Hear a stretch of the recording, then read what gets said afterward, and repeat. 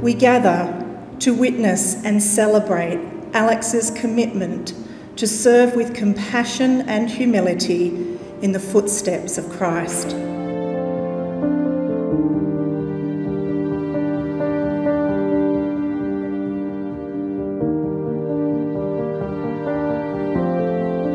In the name of the Father, and of the Son, and of the Holy Spirit. Amen. Peace be with you. We come here to support you, Alex, to pray for you.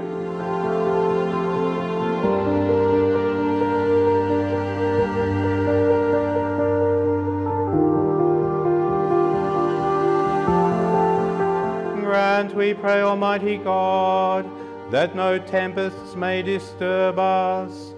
Do not say, I am only a child, for you must go to all to whom I send you, and say whatever I command you.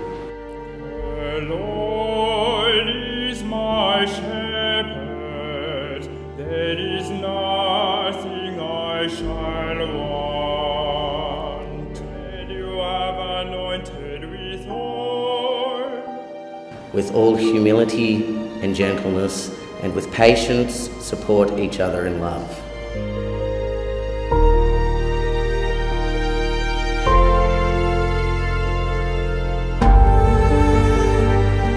I testify that he has been found worthy.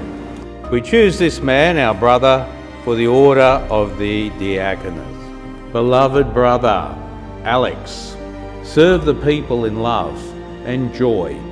And I was sitting where you are at the moment and I heard those words read by the bishop. The first impulse I had in my whole body was to run down that aisle and get out of here. Realise that God's given you a treasure and the treasure is the people you serve. Do you resolve to conform your way of life always to the example of Christ?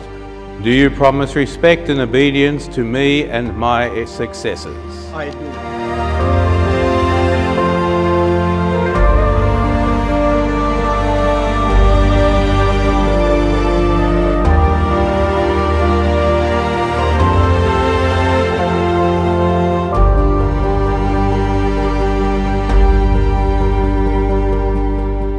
Send forth upon him, Lord, we pray, the Holy Spirit.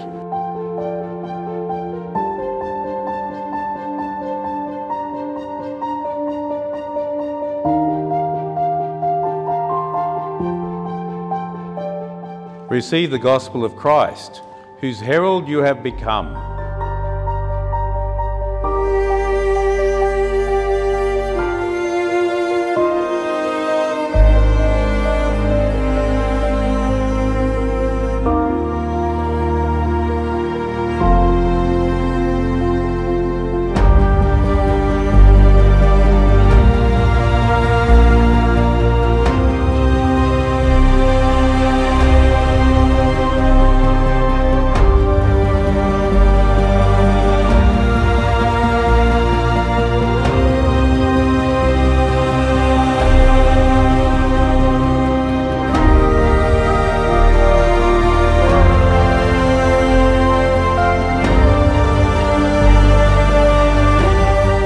So I know some of you have been asking me, Alex, where are you going to be sent? I'm not going anywhere.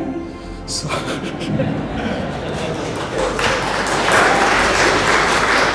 being ordained as a deacon is not merely a title or position, but sacred calling to serve God and His people.